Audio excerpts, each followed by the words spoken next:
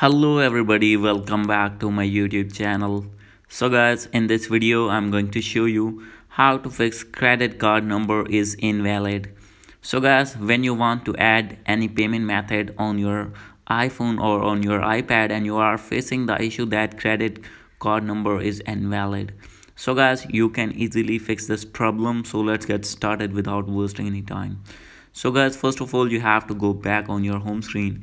And guys now you have to check expiry date on your debit or credit card. So guys if your date is expired simply you have to change your debit or credit card. And guys the second thing is you need to turn on online transaction on your debit or credit card through bank app so guys if not have any option simply you have to contact with your bank means financial institute and tell them your problem and they will enable online transaction or internet uh, international transaction on your debit or credit card. And guys after this your problem will be fixed.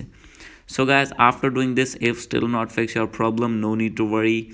You have to open an internet browser so guys after this you have to search here support.apple.com the official website of apple support and now you have to select your iphone. If you're using ipad you have to select your device.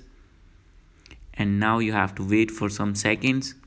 Scroll it below. From here you have to click on here the option of get support. Start now. And now you have to wait. Scroll it down. From here you have to click on here is the option that is subscriptions and purchases. You have to click on this one. And guys now you can see this type of interface here. And guys you will see here the option of update payment method. Now you have to click on continue. After this you have to click on call us. And guys now you have to call at these two numbers tell them your problem and they will fix your problem as soon as possible so guys this is the video. Hope you like this video. If you like this video please do subscribe my channel. Thank you